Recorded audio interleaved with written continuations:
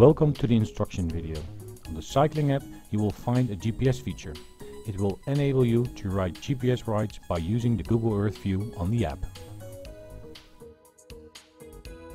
If you are a first time user then please log in with Facebook or Google or create one by using your email address. If you do not want to save your activities online then select to work offline. We will log in with our Google account.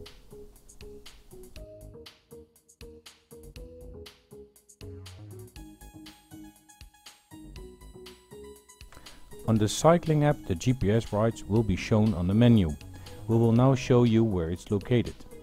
There are no GPS courses. You need to download them. Start an internet browser and go to cloud.tacx.com.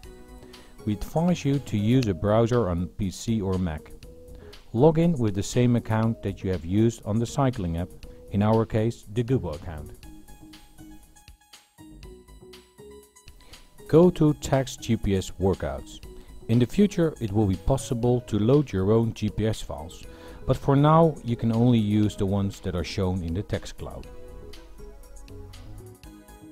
Let's select the Giro d'Italia. When you select it, it will be downloaded to your cloud account.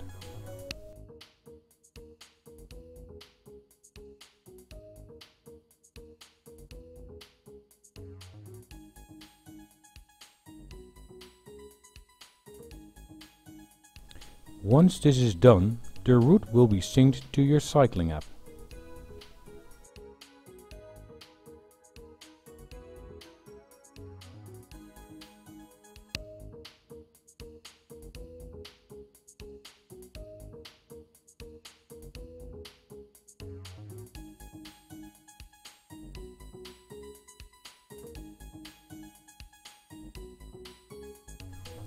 Let's return to the tablet and close the cycling app.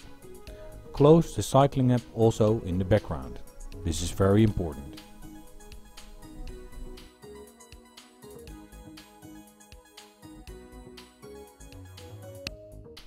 Restart the cycling app.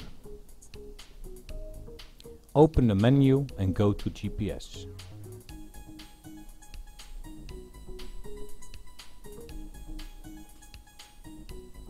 You will see that the Giro d'Italia 2017 has been downloaded. Or will be when the synchronization has finished. Make sure that the trainer is connected and start the GPS ride.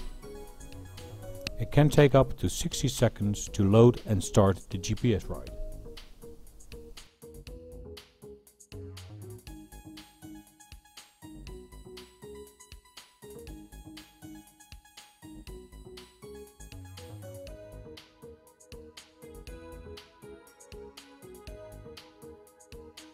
By tapping the GPS screen you will see a screen where you can change the graph view, power mode and GPS view.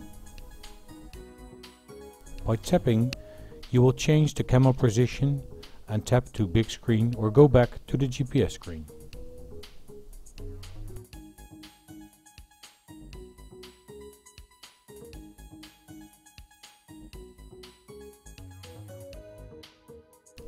The colored 3D road will represent the difficulty of the incline. Green is easy and red is very hard.